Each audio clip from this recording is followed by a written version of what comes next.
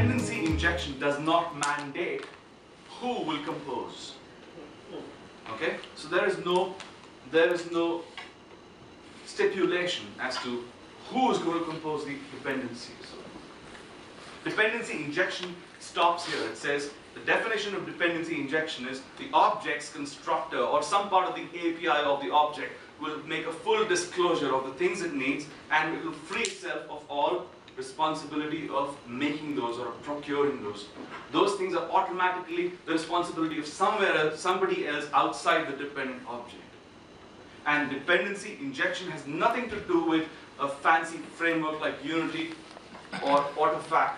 It's just the technique of making a full disclosure of dependencies, and that has several advantages, as you've seen. Sorry, you had a question, sir. Yeah, I was just, he was saying earlier about putting everything in the constructor. And earlier you were talking about how you want your objects to relate to real world objects. Yes. So in the real world, you can have a coffee maker without water and coffee in it, Yes. or you can put only water in it. Yes. So shouldn't we actually still want those to be able to be separated?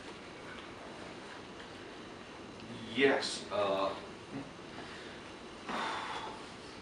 Sorry if I'm messing with you. no, no, no. Actually, that's a good question. I'm just thinking. I'm, trying to articulate how to answer that. Uh, let me let me do that at the back of my head.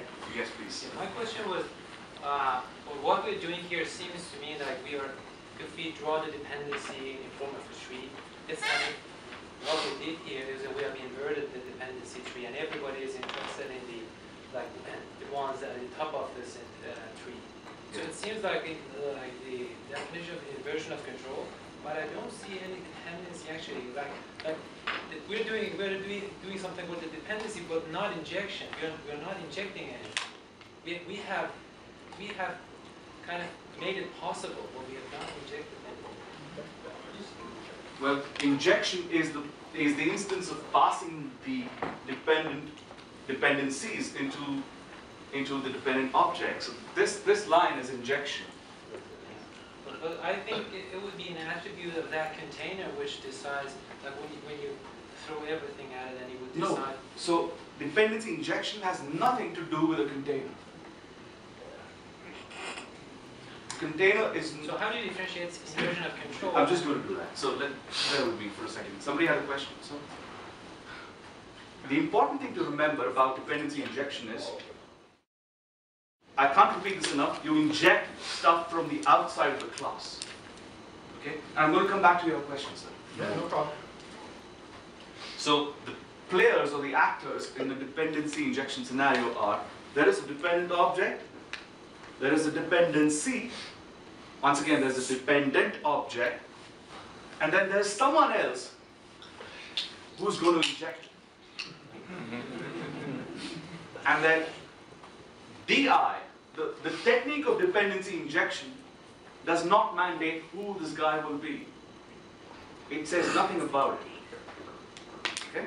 And you don't need any framework to do DI. So dependency injection is different from the concept of a DI container. These are two different things. They're related. You can have dependency injection in your application without using any framework. This is what I'm trying to say. This is dependency injection, and a lot of people do it this way, like the main method I showed, and that's called a poor man's DI. You do everything yourself.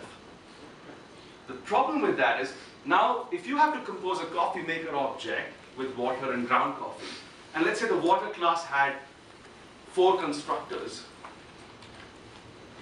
you have to make a decision. Which of those do I need to invoke right now for the water class to make water? And if those, if one of the constructors that you chose to invoke has six arguments, two of them are objects, and the rest of the four are primitives, I mean, you need to make decisions. How do I construct water? If you try to do that in the client code, there's nothing wrong with it. That's the poor man's way of doing it. Wherever you do object composition, you're going to have 10 to 12 lines of code making a lot of decisions. So you want to delegate that to a specific software that is good, that's good at making those decisions. And that's where a container comes in.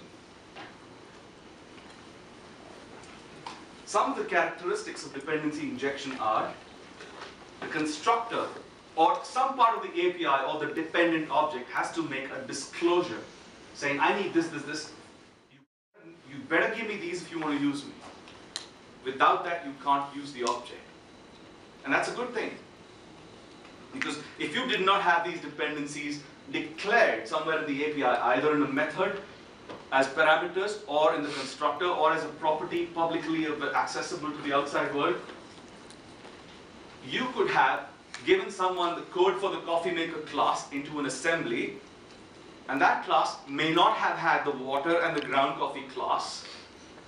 If the coffee maker class needed iLiquid, if the dependencies were declared as behaviors, iLiquid and iPowdered coffee, and you gave someone the coffee maker class, and it did not have a declaration of its dependencies, this, then you could accidentally give someone the assembly that had just the coffee maker and not implementations of iLiquid and ground coffee, and the compiler would not catch it. So DI sort of uh, helps you catch stuff early on that you wouldn't have got if you didn't have that. Now, that doesn't mean we go around just making everything a dependency. Okay, two things I want to emphasize. DI simply means a full disclosure of dependency and the injection of those. An injection doesn't have anything to do with a container or a fancy framework. This code adheres to the single responsibility principle. The coffee maker is now just making coffee. There's a loose coupling between the dependencies and the dependent object. And now, well, like you've seen Superman, right? With power comes responsibility. And the converse is also true. When you give away responsibility, you also give away power. This code now has to trust. While it has freed itself of a lot of responsibility, it has to trust the injector, whoever the injector is going to be, that the injector is going to give the right liquid and the right iPowdered coffee implementation. So obviously it's going to have guard clauses and exception handling inside, which I've omitted here. But there is some degree of control that's gone away. Hence, dependency injection is, is thought of as a manifestation of a broader phenomena known as inversion of control. The control has sort of been inverted. And this is difficult for a lot of people to grasp. It just means it's a fancy, fancy phrase that simply means that the traditional way that we think about things has sort of changed. This class is now helpless as to the injector could be some rogue code written by a less experienced developer who would probably put in petrol, which is an iLiquid. And this guy should then blow up with an exception like, I burn your house, you idiot exception, or something. so, we haven't got that here, but this code is amenable to such attacks. And that's, that's comes, that comes with the territory dependency injection. And that's what inversion of control means. You've given away stuff that you could control earlier. Earlier you were making the coffee, coffee maker was making, making coffee.